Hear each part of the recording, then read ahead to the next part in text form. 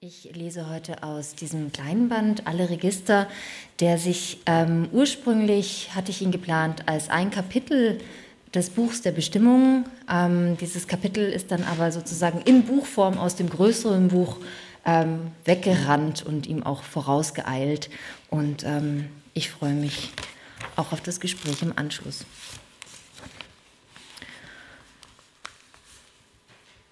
Alle Eltern heben etwas auf, das uns Kinder ratlos macht. Warum das? Oder das hätten wir nicht gedacht. Der Blick hinter die Kulissen, der die Ordnung der Dinge, die uns bestimmt hat, bestimmt, etwas fragwürdig macht, manchmal mehr als das. Als ich die Wohnung auflöse, in der ich aufgewachsen bin und wo meine Mutter zuletzt alleine lebte, wird mir klar, dass selbst die Ordnung der offiziösen Papiere nur Fassade war. Urkunden, Zeugnisse, Verträge, Belege, so etwas. Das hat außer freier Assoziation kein System nie gehabt. Ich halte das für einen Gewinn, mein Erbe. Ich erinnere, wie meine nicht sehr große Mutter immer den erstaunlich großen Locher, den sie aus seinem Büro hatte mitgehen lassen, mit gewisser Regelmäßigkeit bedeutungsschwer in den extra für diesen Akt aufgeklappten Sekretär wuchtete, einen Stoß jener Papiere, die eine mitteleuropäische Kleinfamilie im 20., 21. Jahrhundert in ihrer Existenz bestätigt, in genau der kontingenten Folge, wie diese von einem schicksalshaften oder x-beliebigen Stapel gelassen worden sind, zwischen ihren multiple beringten, hübschen Fingern auf Kante fallen ließ, das Ganze in den Metallspalt schupperte, den schweren Hebel nach unten drückte, ihn wieder aufspringen ließ und das Konvolut Seite für Seite in Leitsordnern verstaute. Dabei hat sie immer konzentriert geguckt und ein Gefühl von Sicherheit war hergestellt. Von außen lässt sich Chaos im Inneren nicht erkennen, geschweige denn verstehen. Wie bei psychischen Leiden. Ich war schon früh dazu bestimmt, Ordnung herzustellen. Diese wird die letzte sein. Das Bild von mir als Kind mit Gummihandschuhen an der Spüle lege ich zur Seite, schmeiße es weg. Übrig bleibt von den aufbewahrten Sachen ein Kinderbild. Meine erste illustrierte Schreibübung. Es ist ein fehlerhaftes Alphabet, 31 Buchstaben, manche doppelt, einer frei erfunden, andere in falscher Reihenfolge. Drumherum laufen zehn kleine Tierchen, vier bis acht Füße. Auch eine Kirche ist zu sehen, mit einem ziemlich bunten Dach und viel Gras, mit Fantasie ein Baum, let's say Wasser, eine Blume, etwas welk, etwas anderes in voller Blüte. Dann sind da noch die Edelsteine. Ich ziehe die eine Ordnung unter die andere. Es muss um Gott gehen, um Natur, darum den Verstand zu verlieren und wiederzufinden, um Missbrauch der Kinder, der Wörter, der Ordnung, um das Ganze, das sich nicht auf den Punkt bringen lässt, kurzum alle Register. Ich habe diese Kinderzeichnung nicht mitgebracht, ähm, aber Sie müssen sich vorstellen, dass dieser Band ähm, ihr sozusagen entspricht, ist auch vorne abgedruckt und das Prinzip, das Ordnungsprinzip dieses Bandes ist eben dieses Alphabet und ich lese jetzt äh, noch sechs Buchstaben. A. An den weiter behandelnden Arzt und an alle Gaffer und Betroffenen, es gibt hier nichts zu erzählen. Ich möchte nur noch einmal die Allmachtsfantasien anprobieren, bevor ich sie weggebe in die Altkleidersammlung zusammen mit allem, was ich bin und allem, was in mir ist und atemlos das Loblied probt. Aber zuvor noch ein Zitat von dir. Ich weiß nicht, was ich bin. Mensch, Geist, Maschine oder Melone. Auf jeden Fall, ich bin oder trage diese Krone. Agatha riet nach, wie mein Vater sagt, wiederholten Arztbesuchen, Apokalypsen, das sagst du, affektiv gedrückt, angsthaft, antriebslos, wie die Arme einer Astkoralle greifen meine Gedanken deine Angelegenheiten auf, filtern, Arbeit, Dank von der Bundeswehr am PC werden die Selbstzerstörungsgedanken eingeben, eingegeben, 100 pro Minute. Alpenkreuzer, lang, lange her. Adoption, ich, mittlerweile Hunde, Anmeldebestätigung, zehn Tage mehr und es sind genau 40 Jahre. AWO, NHW, das habt ihr mir nie erzählt oder habe ich das nur verdrängt? Ab morgen sind wir Blumentiere, geflutet in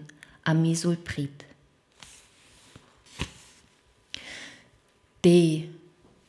Durchsicht deiner Dinge. Alles wird glasklar und schwer. Are you depressed? Mich überkommt so ein Gefühl wie ein Kugelnetz, das legt sich über mich. Ich kenne das alles im Detail und ich kenne das alles nicht. Du, die Derealisation von allem, was du warst, hattest, wolltest, du. Manchmal denke ich darüber nach, jemand anderes zu werden. Ich war ja beispielsweise schon mal du. Ich dringe tiefer in deine Matrix, leuchte das Muttergestein mit etwas aus, das fackelt zwischen Erinnerungen, raupenhafter Blattfraß durch deine Unterlagen, mir wird schmetter, schwindelig und Depersonalisation. Darin bilde ich dann eine Druse, die füllt sich mit den gottgegebenen Geschenken, deinen Wahnsinn, Lachen, Streben, ratlos sein, sich schuldig fühlen, dem Druck standhalten, Diamanten und dann das glitzernde Gebilde, die hochkarätigen Gedanken im Altschliff von Kinderhand anlegen. Der Verrat, da war doch mehr als DAK. Ich mache weiter mit B. Bitte nicht vergessen. Behörden Buchversuch 2002, Vergleiche G, Bericht über ein besonderes Ereignis. Berichterstatter, Name Station, etwas wie Bernstein in meinem Kopf, erste Inkluse. Ort, Datum, Zeit des Ereignisses? Wohnzimmer, Winter, in dem ich Kind war, Abenddämmerung. Was hat sich ereignet? Der Teufel hat sich verspätet. Wie hat sich das Ereignis zugetragen? Draußen war es noch nicht dunkel und doch schon zum Fürchten. Wie auf dem Bild mit Pontius Pilatus, der hinter die graublaue Wolkenwand. Den ganzen Tag über hat es geflattert, geflackert, das dumpfe Gefühl, dass etwas im Anmarsch war. Beeinträchtigungsideen heißt mit den missgebildeten Gedanken schwanger gehen. Jetzt blieb nur noch das bisschen Zeit, das man braucht, um sich in das, was ansteht, wie die Nacht zu ergeben und zu funktionieren. Mein Körper war noch recht jung, doch stark genug, kleine Hebamme der Kopfgeburten. Entschlossen rührte ich in der Suppe. Der Topf war so groß, hoch und voll, dass es für drei Tage reichen konnte. Ich streckte mich zufrieden. Kontrolle, Deckel drauf, mittlere Hitze. Ging ins Wohnzimmer, guckte auf die Uhr, guckte in den Fernseher. Dort waren Bilder von einem Wald mit Zahl und namenlosen Toten zu sehen. Dann gab ein Mann mit einer Blutinsel auf dem Kopf, der häufig in den Nachrichten war, einem anderen Mann zwei große Mappen, schnitt zurück auf Tote. Schnell stellte ich den Apparat ab, horchte, die Suppe blubberte, ich verharrte, verharzte, konzentriert im Nebenzimmer leben. Meine Mutter schraubte sich hoch, warf sich in ihrem Bett hin und her, von einer Angst geplagt, ihr die Stimme versagte. Es war nur mehr ein Wimmern und ein immer drängenderes Wälzen. Mein Vater war nicht zu rechnen, er kam nur meist gegen Mitternacht. Also ging ich rein. Ich setzte mich an das Bett, das meine Mutter den Tag über kaum verlassen hatte. Die Decke war schwer, schwer genug, dass sie nicht wegflog. Zum Glück, ich nahm ihre Hand, etwas wie Dankbarkeit gab sie zurück. Die Zeit verging wie etwas Überflüssiges. Da war so viel Angst in ihrem Blick und so wenig Sprache. Das Telefon klingelte. Geh nicht dran. Warum? Das ist der Teufel schon wieder. Ich will mal hören, wie es ihm geht. Ich ging ran. Was hat er gesagt? Er hat gesagt, er verspätet sich ein wenig. Komm jetzt und iss. Ich kann mich nicht daran erinnern, geweint zu haben, aber aus, einem, aus meinem Inneren trat schubweise so viel Herz, wie meiner Mutter Tränen und Begriffe fehlten. Und wenn ich das heute alles gegen das Licht halte, dann scheint es so hellgelb. Wer war beteiligt? Mutter, Tochter, Teufel, Zahnarzt, Dr. B. Sind Körperverletzungen aufgetreten? Wenn ja, welche? Definiere Körper. Wenn nein, warum nicht? Bei Sachschäden ist zu berücksichtigen, sind Sachschäden entstanden? Wenn ja, welche? Das Blut Christi wurde von einem Adler aus dem Heliotrop gezogen. Irgendwann ist auch mal Schluss. Wer ist der Geschädigte? Nun, wenn Sie das gegen das Licht halten, dann werden Sie sehen, dass da ganz feine Verbindungen von dem einen zum anderen und immer weiter bestehen. Wer ist der Schadensverursacher? Finde diese Schuldfragen unerquicklich. Was wurde getan, um möglichst den Vorfall zu finden? Wir haben gesagt, wir rufen zurück. Ich springe jetzt zum R, zur Ruhe. Ruhe, unwirkliche. Ich habe das noch einmal vor mir ausgebreitet. All die Steine, all das Gemeine, dass Kometen auch nur Staub aufgreifen mit ihren Schweifen. das darf ich dir gar nicht erzählen. Versuche mich zu erden, indem ich an den Quarzen hangle, wie einen Rosenkranz entlang. Gott hieß mich, wolkige Gedanken im Diamanten einzuschließen, zum Beispiel denen so viele Tränen zu vergießen und zu sammeln, selbstverständlich, dass man die Echtheit edler Absicht darin prüfen könnte, wenn man sie darin versenkte, endlich Gewissheit. Ich lege diesen Stein von deinem Herzen auf den Samt und fege mit einem kleinen Besen all den Staub, all das Gemeine von meiner Ausdrucksweise, erlöse mich dabei Reuschel und Co.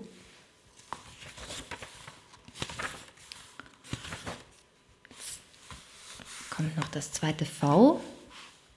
Versuch über ein Ende.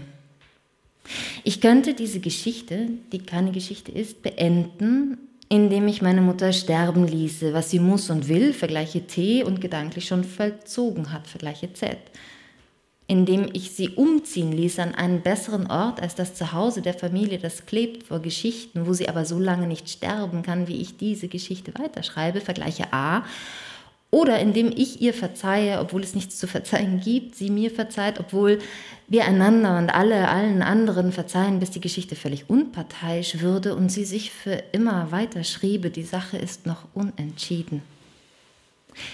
Kinder wie wir müssen akzeptieren, dass wir machtlos sind, vergleiche A, verstehen, dass niemand gewinnt, vergleiche L, dann sind wir nicht mehr Kinder, die um die rettungslosen Eltern ringen, dann begleiten, dann, Verzeihung, dann beginnen wir zu erwachsen, wie alle anderen Menschen auch.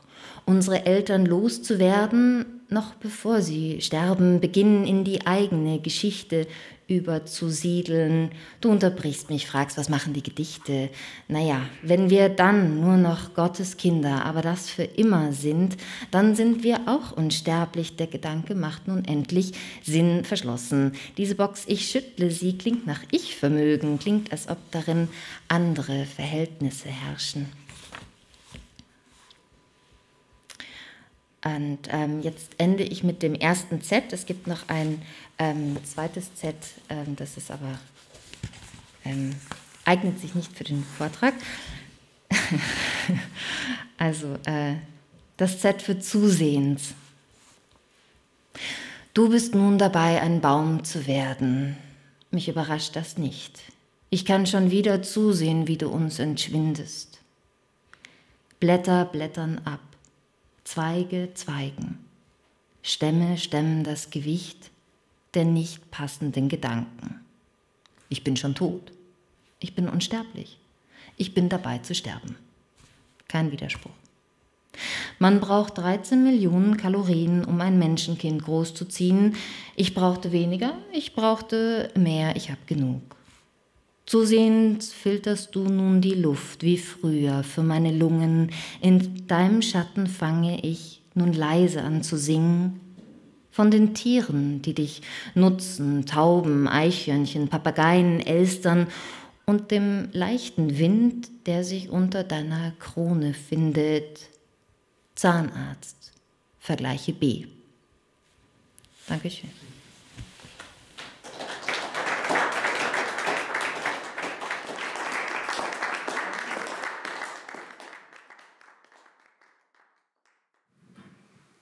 Da kommt gleich mal die Ordnung der Dinge und die Erzählung von der Mutter ne? und diese, dieses Erbe.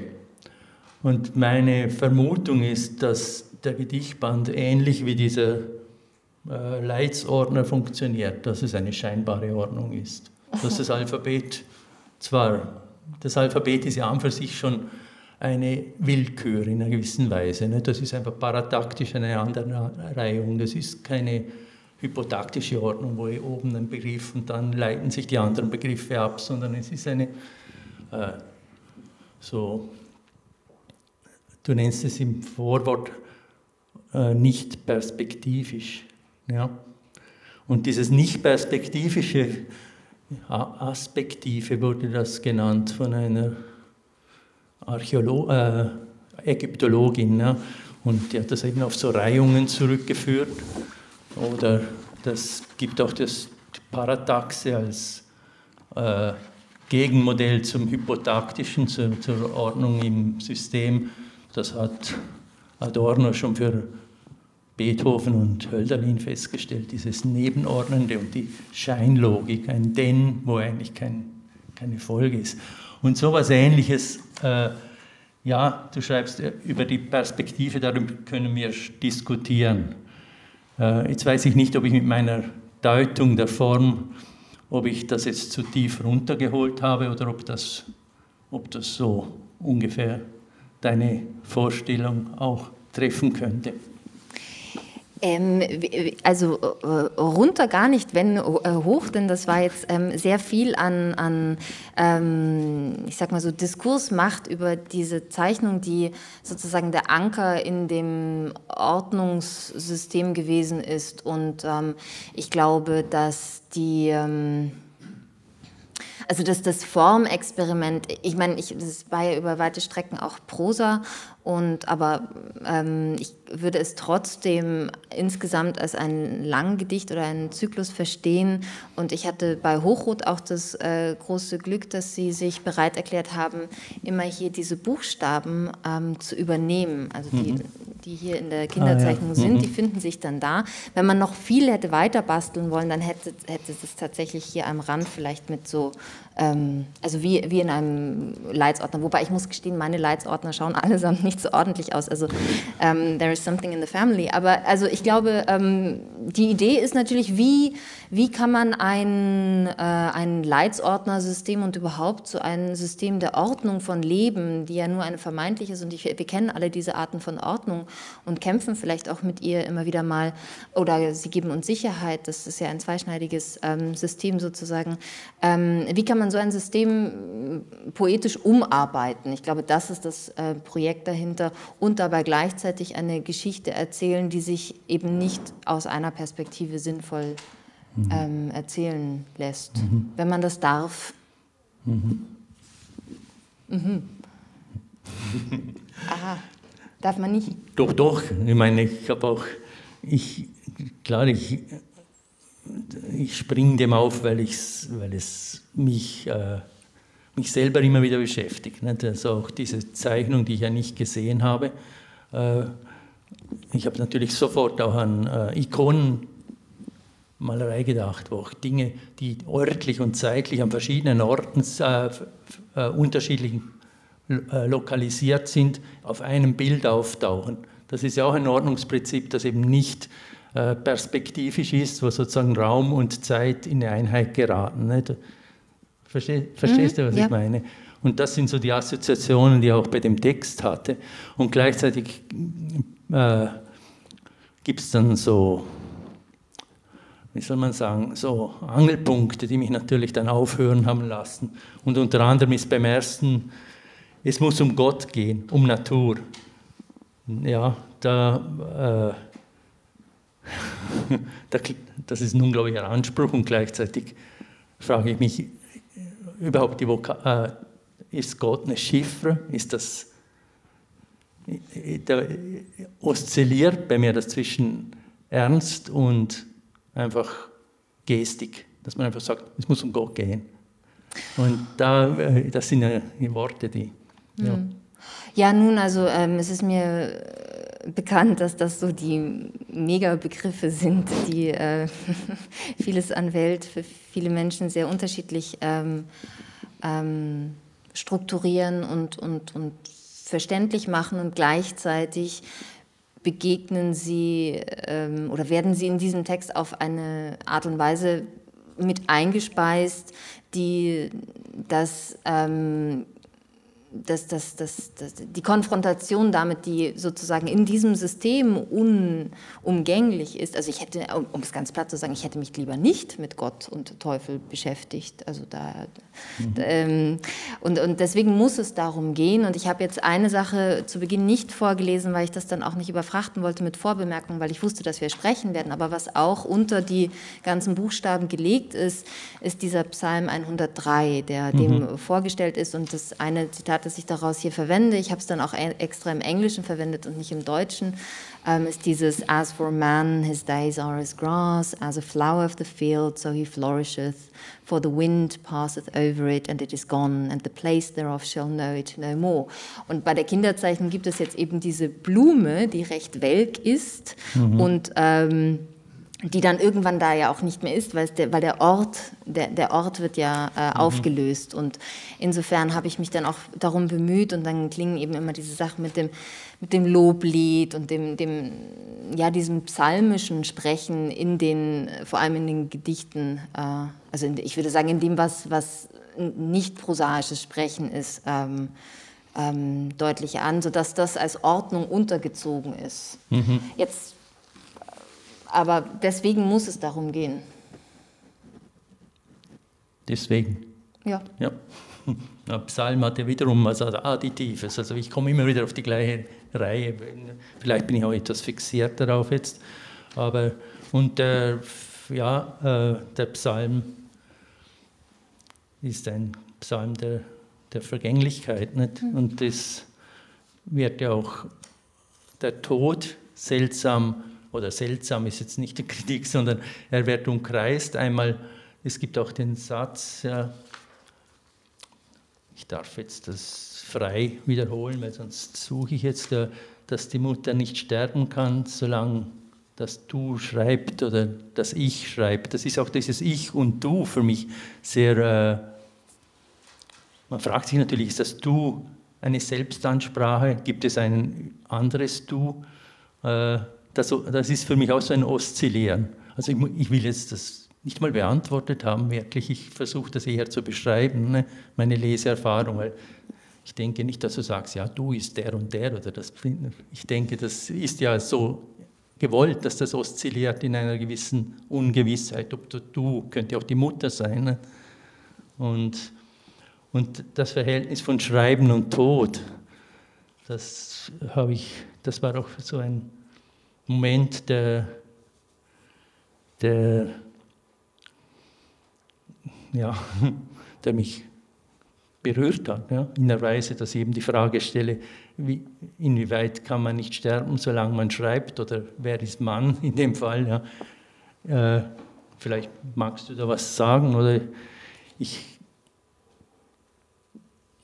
ist das eine Beeinträchtigungsidee? Ich fand das Wort Beeinträchtigungsidee, es ist in Anführungszeichen gesetzt. Äh,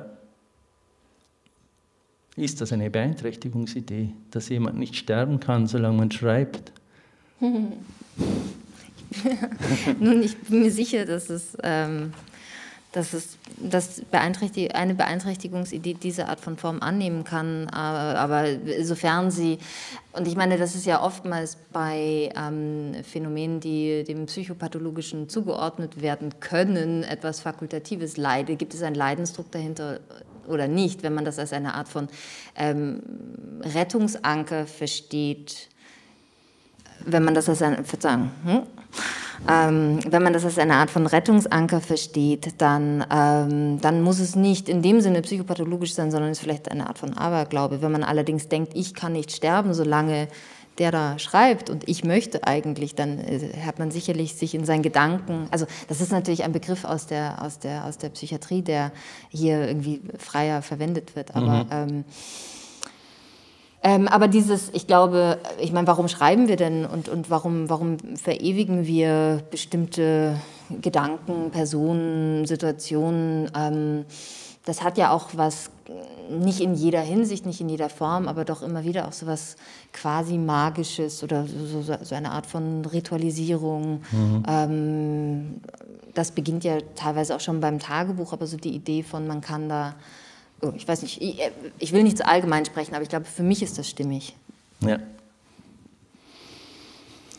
Und ja, dann das andere zu diesen Widersprüchen oder fast Zwanghaftigkeiten ist dann das Versöhnliche oder das Versöhnende, das auch thematisiert wird mal. Ich fand es am nächsten im Gedicht zusehens, äh, du bist nun ein Baum, du bist nun dabei, ein Baum zu werden. Und dieses äh, Gedicht äh,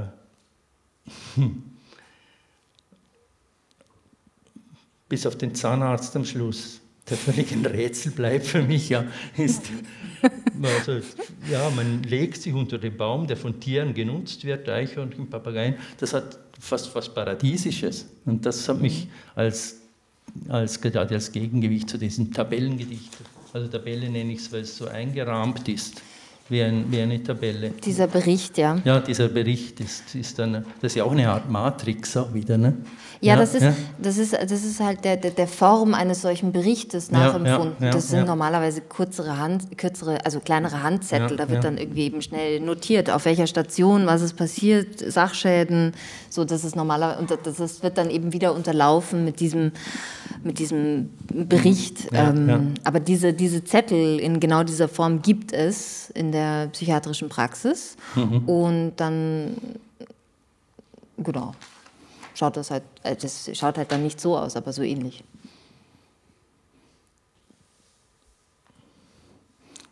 Es ist immer ein bisschen ein Eiertanz, ein Autor zu sein, Sachen zu fragen, weil man tanzt hinein oder daneben oder einfach auf alles drauf. Also ich habe mehr, äh, ich habe das auch noch nie gemacht, muss ich jetzt schon mal sagen. Gell? Also ich bin da, ist, ja, es ist, ich bin weder Moderator noch Kritiker noch, ich bin eigentlich vor allem eher Lyriker. Ja. Äh, und habe natürlich eine Neigung zur Versöhnung. Das ist ganz deutlich. Das Deshalb ja. habe ich das Wort des Zusehensgedicht auch sehr angesprochen. Auch weil es die Widersprüche auflöst. Ich bin schon tot, ich bin unsterblich, ich bin dabei zu sterben, kein Widerspruch. Und das, äh, die Auflösung der Widersprüchlichkeit ist für mich eine Art Versöhnung. Ne?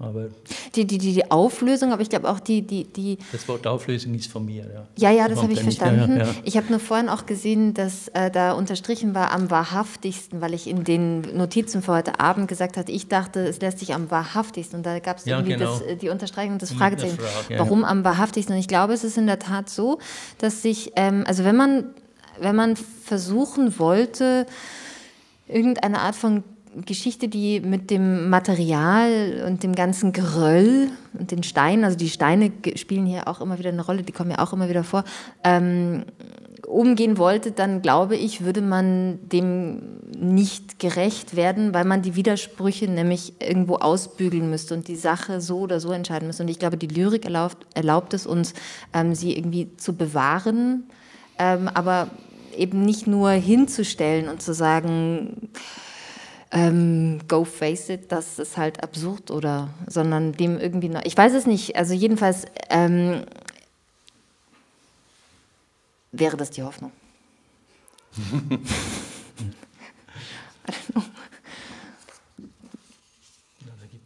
Ja, bei den Steinen war natürlich das Wort ausbreiten unterstrichen. Also ich springe wirklich auf das an, dass man eben das Ausbreiten auch, wieder dieses, was ich paradaktisch nenne. Ne?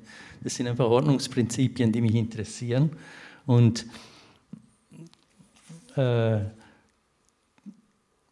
um die Steine ist doch dann auch mit der Kristallisation. Es, aber es, es, die Bildlichkeit geht auch nie eindeutig auf. Das ist auch das, das Spannende, sonst wäre es ja ein, eine illustrierte Botschaft, das Ganze. Das ist auch das Schöne, dass die Steine äh, jetzt kein Symbol sind. Also ich lese es nicht als Symbol, sondern da werden Steine ausgebreitet. Ich nehme das wirklich als äh, das ist auf der Kinderzeichnung drauf war. Das ist, da vermische ich jetzt schon alles. Nee, nein, die, nein, die, nein, die Steine sind nicht aus der Kinderzeichnung, aber das hat man ja manchmal, dass man zum ja, Beispiel ja. Edelsteine dann hier so auf dem Samt hat und dann mhm. hat man einerseits die Möglichkeit, das genauer anzugucken und andererseits gibt es natürlich auch das Metaphorische, das, das, das, die Steine, die man auf dem Herzen hat.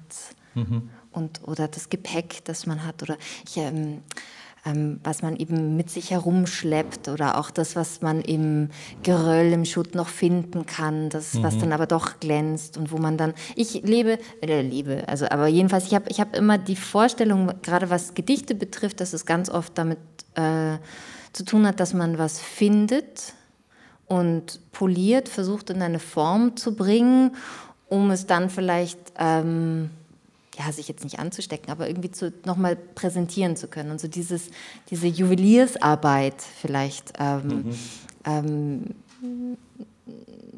ja, irgendwie, ich glaube, ich kann auch nicht besonders gut über die, die äh, eigenen Sachen in, in, in, dieser Form reden, aber ich glaube deswegen die Steine, also es gibt, also es, ähm, die dann deswegen haben sie was mit der Kinderzeichnung, die ja ein Alphabet ist, zu tun, weil sie dann eben mit den Anfangsbuchstaben zugeordnet sind. Ja. Also äh, ja, dann haben wir eben bei D die Diamanten ja, und, ja, und, so weiter. Mhm. Äh, L, Lapislazuli und, und, und, und äh, das Muttergestein und diese ganzen, das, das, das Vokabular aus der Mineralogie, ähm, das macht ja LyrikerInnen oft Spaß, sich dann auch mhm. da noch ein bisschen zu bedienen, um Sinnhorizonte zu eröffnen, die jetzt in der ähm, unmittelbaren Anschauung irgendeiner Art von Chaos mhm. ähm, vielleicht noch nicht mehr gegeben sind.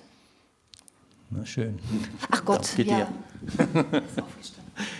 Na schön, ja. Also die Gedichte sind auf jeden Fall keine Versteinerungen, dass sie sich verschließen völlig, sondern sie Sie, blü sie blühen auch und welken. Darf ich das sagen? Ja, bitte. Gut. alles sagen.